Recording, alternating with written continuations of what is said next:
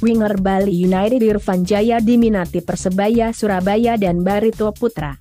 Tribun Bali.com, jelang berakhirnya kompetisi Liga 1, rumor transfer pemain Liga 1 pun makin kencang berhembus.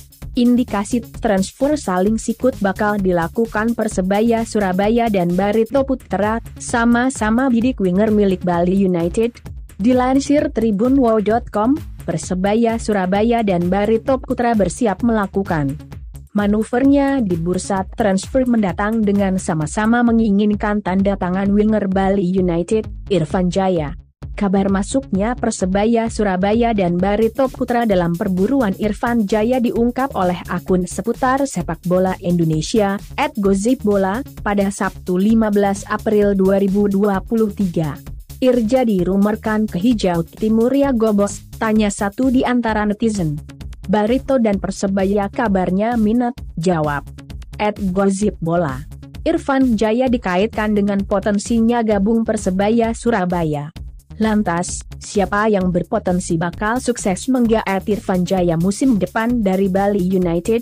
Dilansir tribunwow.com, durasi kontrak Irfan Jaya yang disinyalir baru akan usai per 2025 mendatang diprediksi akan membuat Persebaya Surabaya dan Barito Putra kesulitan.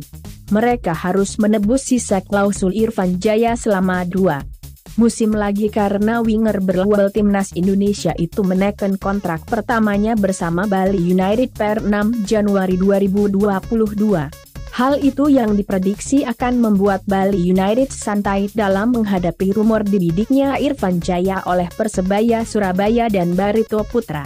Jikalau memang kedua tim sangat serius menggaet Irfan Jaya, satu opsi paling memungkinkan hanya dengan mengajukan proposal peminjaman. Apabila benar opsi itu dilakukan, maka praktis bisa diprediksikan jika Persebaya Surabaya lebih berpeluang realistis dalam menggaet Irfan Jaya. Mengingat Persebaya Surabaya merupakan rumah pertama winger kelahiran Bantaeng tersebut hingga pada akhirnya sukses bersinar dan masuk skuad timnas Indonesia dalam beberapa waktu lalu di bawah asuhan Shin Tae-yong. Terlebih bisa dikatakan, sosok Irfan Jaya merupakan idola lama bonek mania di posisi winger selama kurang lebih empat musim lamanya sejak 2017 hingga 2021. Total, 18 gol dan 11 assist dari 60 pertandingan catatan Irfan Jaya selama berkostum Persebaya Surabaya. Akan tetapi, Irfan Jaya musim ini tengah terpuruk bersama Bali United, di musim ini saja, Irfan Jaya hanya diberikan kesempatan bermain sebanyak 21 pertandingan saja di Bali United, dengan meraup 2 gol dan 2 assist. Atas dasar itulah Irfan Jaya potensi dilepas namun diprediksi dengan status pinjaman.